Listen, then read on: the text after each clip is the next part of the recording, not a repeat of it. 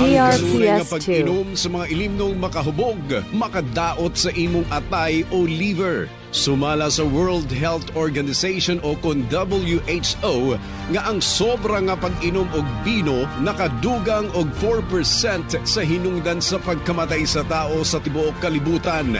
Mas dako kini og epekto itan di sa sakit nga AIDS o tuberculosis.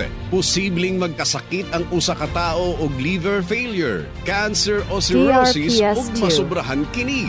Ilabi na nga og inuman ang hisgutan, di mawala ang pulutan. Chichirya, lamang loob nga samot makadala og di maayo sa kalawasan. Ang atong atay bisan pa man maayo kini nga organ gumikan kay mamahimo niyang i-repair ang iyang kaugalingon sulod lamang sa 24 oras ug mas paspas nga pag-repair sa higayon nga kung diin kita natulog. Kining atong atay DRPS2. posibleng mukubol o baka hadili na makahimo sa pag-repair sa iyang kaugalingon kung kanunay kini siya babad sa mga kemikal nga gikan rasad nato. Ang kanunay nga pag-inom sa soft drinks ug ang pag-inom sa mga ilimnong makahubog mamahimong makapaalaot sa atong atay. Gawas sa paglikay ug sobra nga pag-inom og bino, mas maayo usab nga magbaton kita og healthy living.